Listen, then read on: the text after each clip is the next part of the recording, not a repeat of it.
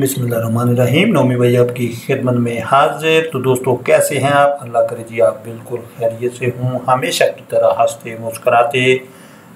चौदह अगस्त के हवाले से आज़ादी का जो ये हम जश्न मना रहे हैं तो इसमें हमने भी हिस्सा डाला जनाब। ढाई मरले का घर, जो कि बिल्कुल लूट से इक्कीस लाख इसकी कीमत है जनाब। Mini house. और हम आपको खुश आमदीद इस वक्त कह रहे हैं, जनाब। काजी रोड, ढेरी हसनाबाद, रावलपिंडी में और इसकी 21 लाख मिनी हाउस की जो कीमत है, बिल्कुल नया घर है। डबल स्टोरी और क्या ज़बरदस्त इसकी डिज़ाइनिंग की गई है, जनाब। महदूद से वसाइल में रहते हुए और इसके सामने 30 फुट की जो रोड है, वो अपनी मिसाल आप है, जनाब मैंने तो इस मौके के ऊपर, जो कि आज़ादी के दिनों में जो जश्न मनाया जाता है तो कोई भी त्यौहार आता है, जिस तरीके से फॉरेन कंट्रीज़ हर चीज़ के रेट जो हैं तकरीबन निसफ कर देते हैं। तो उसी को मद्देनज़र रखते हुए हमने भी ये कावश, हमारी ये कावश आपको कैसी लगी?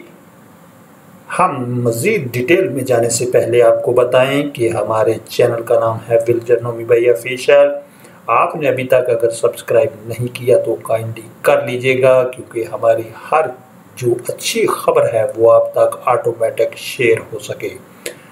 दूसरा दोस्तों, हम आपको ये बताते चलें कि हमारे चैनल का ये वतीरा चला रहा है। हमारे चैनल को कोई भी बंदा सब्सक्राइब करे तो जवाब में हम उसको सब्सक्राइब लाजमी करते हैं। आजमाइश जो है, ये शर्त है जिन लोगों ने हमें सब्सक्राइब अभी तक किया है, हमने उसके जवाब में सब्सक्राइब लाजमी उनको किया है।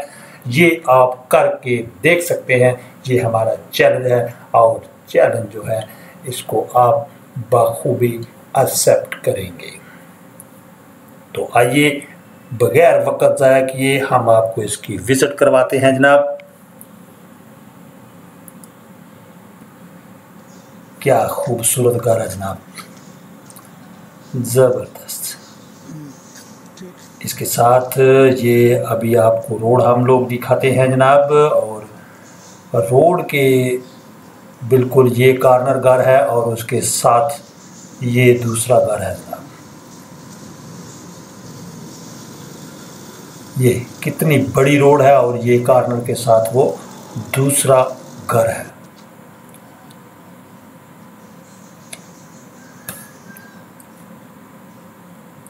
तो जहाँ तक जनाब आज़ादी की बात अगर हम करें तो हमारा एक कोलीग जो कि कम्बोडिया में गया तो उसका ये कहना था कि हम लोग वहाँ पे जब नमाज़ पढ़ते तो मज़ा आया करता था। उसकी वजह ये है कि आप जब अपने घर के अंदर हूँ, जैसे भी नमाज़ पढ़ें नो प्रॉब्लम लेकिन बाहर आपको इजाज़त हरगिज़ नहीं होती। वह ऐसे हालात में परेशानी जो है वो बंदे के सर के ऊपर मंडलाती रहती है और तब जाके पता चलता है, यार जो हम नमाज़ पढ़ते हैं तो ये हमें विरसे में मिल तो गई, लेकिन इसके पीछे कितनी कुर्बानियाँ दी गई। अगर वो बात साइड पे रख के हम सिर्फ़ पाकिस्तान की बात की जाए तो पाकिस्तान दोस्तों कायम रहने के लिए हमेशा कायम रहने के लिए बना और सत्ताईस रमज़ान जुमातुलविदा आखिरी जुमा और सत्ताईसवीं शब।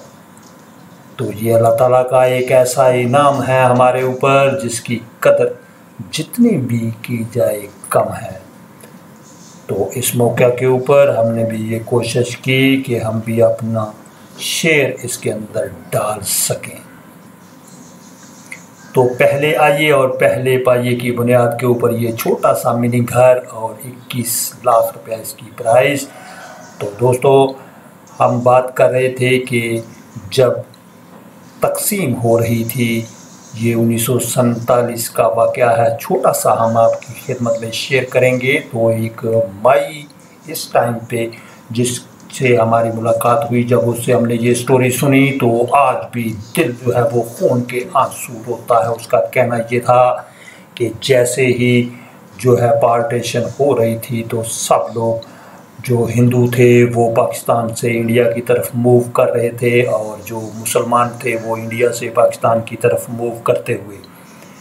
तो जैसे ही लोग जाते तो जनाब घरों की शक्ल में और साइडों के ऊपर जो रखवाले जो गार्ड्स होते थे, वो हो जाते अपने डंडे छोटे और इसी तरह की जो है तलवारें, कलहाड़ियाँ लेके उनको प्रोटेक्ट करते हुए तो हमारे काफ़िले के ऊपर अचानक से हमला हुआ और सारा का सारा जो काफ़िला है वो मार दिया गया और ये बच्ची जो कि बच गई तो उसको नेज़े और जो बर्छियाँ होती हैं, उनके ज़रिए उछाल उछाल के देखा जा रहा था।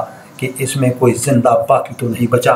तो वो बच्ची खून में ऐसे लथपथ थी कि वो पता चल रहा था कि वो मर चुकी है। लेकिन दूसरा ही दस्ता वहाँ से जैसे गुज़रा, पाकिस्तान के लिए आ रहा था तो उतनी देर में उसने होश अपने ठीक किए और उसके होश जब अपने ठिकाने लगे, वो अपने हेल्दी पोजीशन में आई तो वो उस ग्रोह में शामिल हो गई और फिर पाकिस्तान में आई और सजदा शुक्र अदा किया कि अल्लाह, शुक्र है तेरा लाख लाख बार कि तूने हमें आज़ाद फ़ज़ा में सांस लेना नसीब किया। तो ये एक बहुत बड़ी बात थी, जैसे ही उसकी ज़बानी जो बंदा बात सुनता है तो उसकी जनाब बिल्कुल दिल जो है वो आज भी खून के आँसू रोता है।